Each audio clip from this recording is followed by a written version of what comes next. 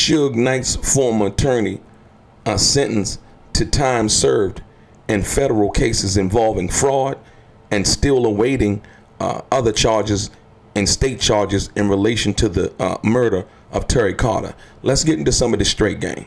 This is crazy.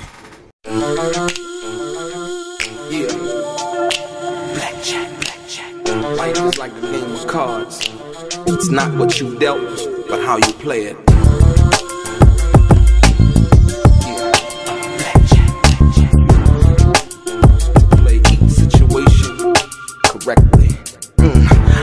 Remember they used to laugh at a brother. Welcome back, guys. Welcome back. It's your boy Delray Richardson, platinum artist, platinum songwriter, Straight Game TV. Thank you for tuning in. I appreciate your time. Uh, do me a favor, hit the thumbs up button as it helps push the uh, content out to more potential subscribers, as well as the people who have already subscribed to the channel.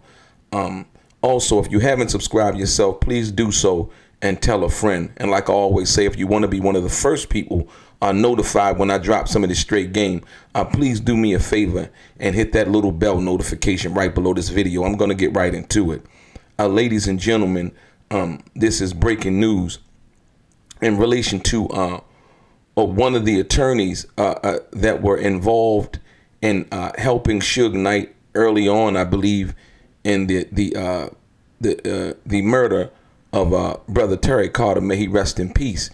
And um and and this is actually sad because um when you think about the game overall, you know, as a lawyer, you go to school, you spend all of those years in law school to become an attorney, and then to have your career um, forfeited by um, some kind of fraud allegation or better yet then conviction uh, is sad and basically uh, this is what happened in uh, santa ana california court basically uh, a former attorney for rap music mogul marion Suge knight was sentenced monday uh, to about three years in federal prison time he has already served for taking 1.3 million dollars in stolen tax refund checks and placing false liens on a federal judge and the warden of the jail in Los Angeles.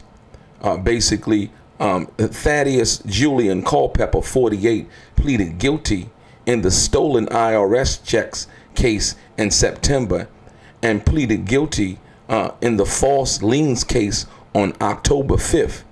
Uh, Culpepper admitted admitted passing U.S. Treasury checks bearing forged endorsements and two counts of retaliation against a federal judge or federal enforcement officer by false claim.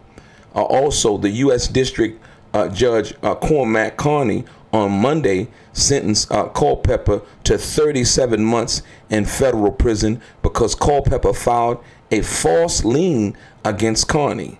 That case was assigned to U.S. District Court Judge uh, David O. Carter, who sentenced the defendant to a uh, concurrent 30 month sentence, but Culpepper, who has been out of custody from the Metropolitan Detention Center since September, will not have to serve any more, any more time behind bars because he had credits from jail custody while awaiting trial in the two cases.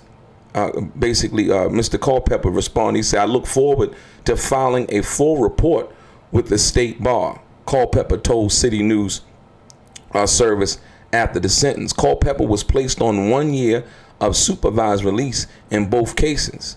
Uh, basically, he filed at least 17 IRS refund checks worth a total of about $1.3 million from April 2015 and, and August 2017 into his own accounts without permission, according to court records and get this, you know, it, it, what's what's more crazy about that is not only like the fraud allegations, uh, but this this right here takes the cake in in, in dealing. Listen to this.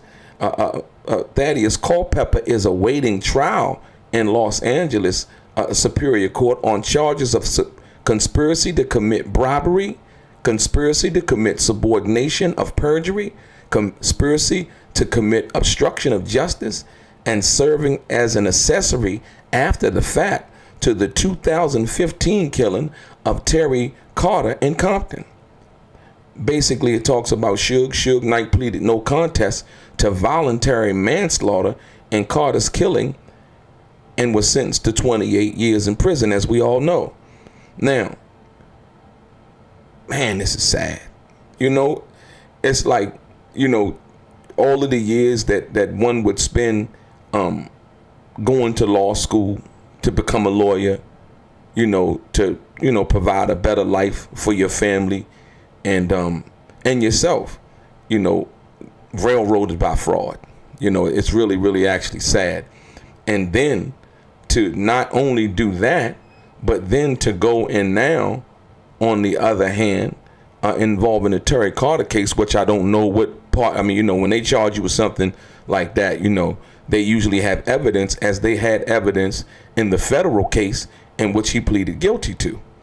And so I just think it's unfortunate, man. Like I said, once again, you know, um, but uh, you know, Mr. Culpepper has, you know, done his time in in that uh, particular situation involving the um, the uh, false liens as well as the uh, the fraudulent um, the fraud committed with the IRS uh, tax refund checks and so on and so forth. But like I said, just wanted to bring this to you. And like I said, and then, then now here comes the thing with the uh, the Terry Carter situation, which is so unfortunate. May Terry Carter rest in peace.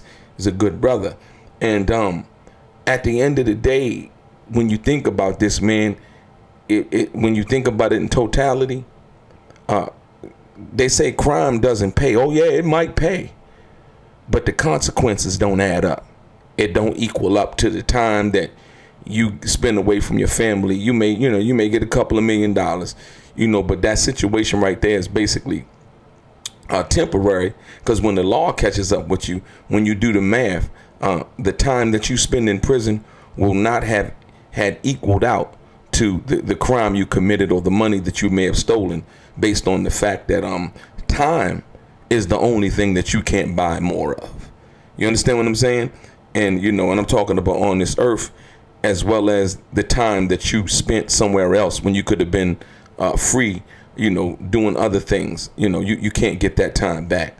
And so, um, yeah, yeah, said uh, brother uh, Thaddeus Culpepper, Suge Knight's uh, former attorney, basically uh, still awaiting trial uh, in, Los Angeles Superior Court on charges of conspiracy to commit bribery, conspiracy uh, to commit subordination of perjury, conspiracy to commit obstruction of justice, and serving as a, an accessory, which is the more serious crime, serving as an accessory after the fact to the 2015 killing of Terry Carter in Compton. Yeah, um, so yeah, like I said, I just wanted to bring you guys this, you know what I mean? Straight Game TV, always trying to bring the news, um, and and and you know, like I said, keep you guys informed on what's going on. Um, but yeah, yeah, he, he stole a lot of money too. You know what I mean? 1.3 million. You know what I mean? From so I guess from April 2015 to, to August 2017, it sounded like you know he was living the high life. You know what I mean? In, in regards to you know the money that he had got from those uh, uh, uh, fraudulent um, or, or, committing fraud with those uh, 17 IRS tax refund checks worth a total of 1.3 million yeah, um, you know, yeah. I just wanted to bring this to you guys. Like I said, this is breaking news. Uh, your boy Delray, chime in and tell me what you think about this, man. You know, the Terry Carter situation may rest in peace, like I said, but more importantly, an attorney who is accused with accessory after the fact involved in his uh, his his murder. Your boy Delray, Straight Game.